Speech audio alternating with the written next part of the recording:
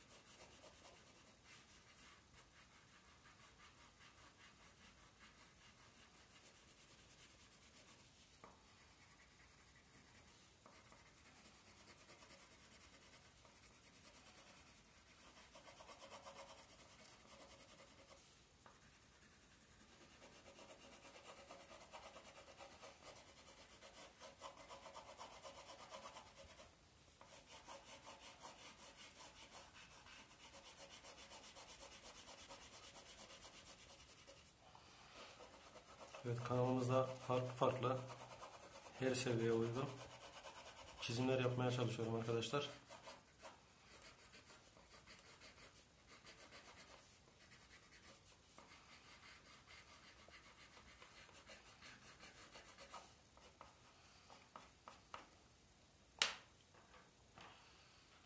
Evet. Bu çalışmayı bu şekilde tamamlıyorum. İzlediğiniz için teşekkürler.